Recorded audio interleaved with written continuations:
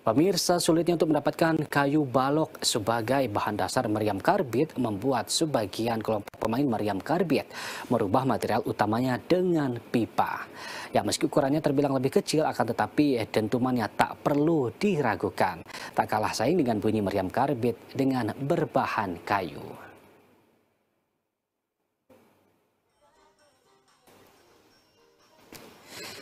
Satu di antara kelompok meriam karbit yang mengganti meriam balok dengan meriam pipa adalah kelompok meriam Panglima yang berada di Jalan Panglima Arani, Kecamatan Pontianak Timur, Kota Pontianak. Koordinator meriam Panglima Heri Mahrijal menjelaskan perubahan material ini sebagai salah satu cara mereka untuk mempertahankan tradisi dan budaya agar tidak punah di telan zaman akibat sulit untuk mendapatkan kayu balok. Heri Mahrijal yang kerap disapa Tere ini menyebut pembuatan dan perawatan meriam karbit dari pipa malah justru justru lebih mudah.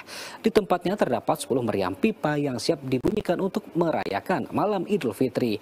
Masing-masing meriam pipa itu panjangnya 6 meter. Satu batang pipa dibeli seharga 6 juta rupiah.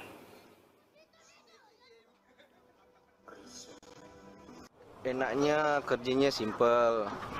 Uh, kedua dia tahan lama, tidak capek kerjanya kan. Bukan bukan karena kita tidak mau kerja pakai meriam balok pertama untuk bahan bakunya bahan baku pohonnya kan baloknya kan sekarang susah didapat nah, jadi untuk para paralon ini saya mak sudah menggunakan ini udah sekitar 10 tahun ya kurang lebih 10 tahun untuk meriam pipa ini